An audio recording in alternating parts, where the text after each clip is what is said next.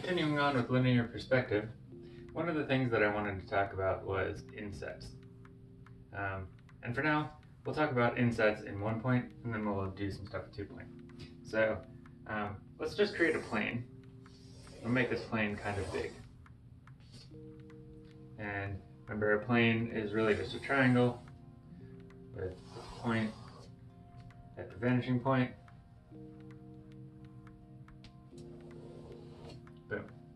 Okay, so we've created a plane. Now, let's say that we wanted to put a doorway in here. We can go in there and we'll make this doorway kind of big. Make doorway back towards the vanishing point. Drop our vertical. Now, because we're working in in uh, one point perspective, we've got our, our horizontal lines we're gonna enter back in, right? So to make this doorway look like a doorway, what we need to do is actually inset that just a little bit because the doorway is going to is going to um, actually be not on the surface of the wall. Door, doors are usually set back into the wall. Same with windows, right? So we can pull a little horizontal out and then we can create that inset, right? Then, because we've created an inset, we now have to go back in perspective and run that line back to the vanishing point.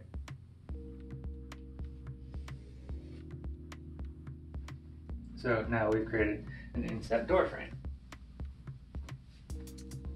So when we go back and re-emphasize this, we've got our outer bit of the building,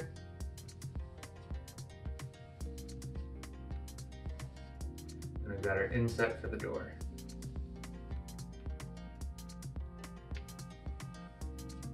Okay. Now, one of the things that's going to be funny is if you wanted to find the center of the door, right, you could create your X method subdivision, right, and you would create your horizontal line. But if you do the X method subdivision off of the front panel, you have to inset that X method subdivision. So you have to go back horizontally, and then that will enable you to find the actual center of the door itself as it sets back inside the frame, right?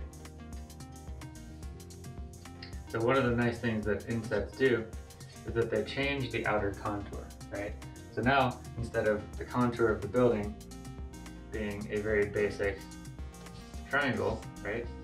The little door here, we now have a contour that goes along the bottom, it goes up, it goes back over, it goes over again, and over. So our contour is now broken up. And whenever we break up that contour, it creates something just a little more interesting and a little bit more unique to the building. Now, this stuff um, happens with your um, with your windows as well. So if you want to put a window up here, right? Let's say we're one right here randomly. Window, we go towards the vanishing point, towards the vanishing point, drop another vertical, then we inset, right? Then we go vertical on the inset, and towards the vanishing point again. So now we create our window inset, and we can go back with our top layer say boom, boom, boom. Then we inset our window. Then remember, if we want to find our X in the middle of the window, we have to then go ahead and set it set it back. So we take this distance and transpose it back. That'll be the vertical part, part of the window. We take this, translate it back, and that's going to be the inside horizontal part. Here we've created our inset window. The other thing that you're going to need to be able to do is do um, outsets. So if we take another plane over here,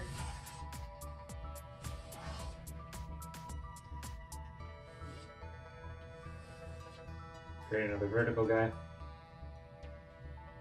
What happens when we want to take say, like create a little box awning or something like that. Right? So we've got our door frame here, which we'll de-emphasize and even construction line shape. Let's say we want to put an awning over it. What we can do is we can draw a pattern of this awning onto the building, right? Then we can outset the awning. So we're pulling this out.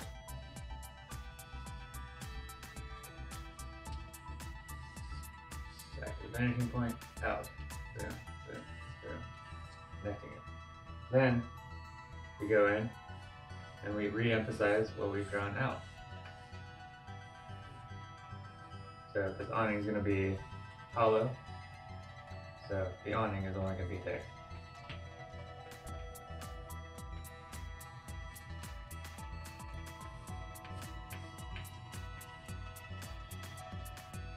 So we've created this box that we sort of pasted on there and outset. So if you can do outset and you can do inset and you can juggle these planes and then you can take these planes and put sides on them, then you can do everything that you want in uh, one or two point perspective, right? If you do two point perspective, this inset and outset uh, is going to change slightly because instead of using uh, horizontals, you're going to use diagonals, and we'll go over that next.